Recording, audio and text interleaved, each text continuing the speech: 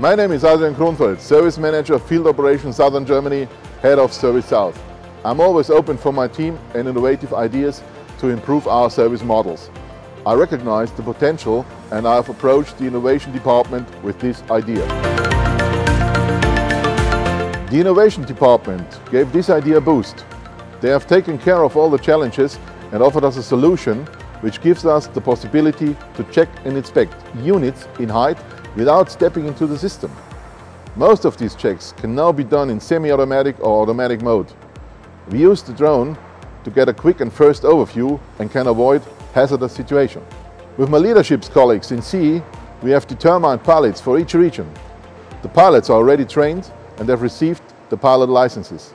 Now we are ready to start a fully commercial use. In the next step, we will offer the possibility for other CS units to join the team of drone pilots.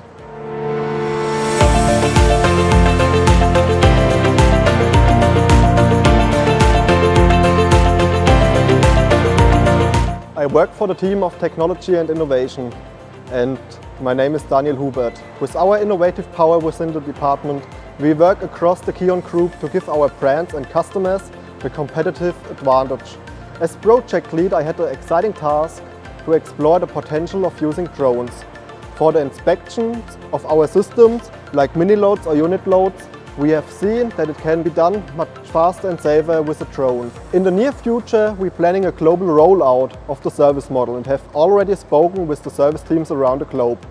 Also, we want to elaborate further promising use cases towards fully autonomous drones.